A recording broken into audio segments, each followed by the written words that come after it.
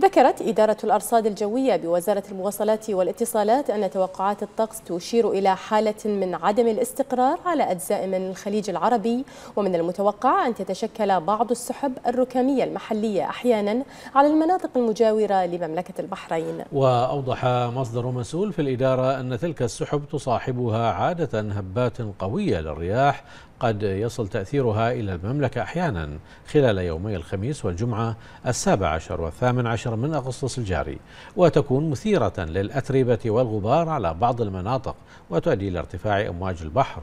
وهذه الحالة المرتقبة تعتبر من الحالات النادرة الحدوث في مثل هذا الوقت من السنة.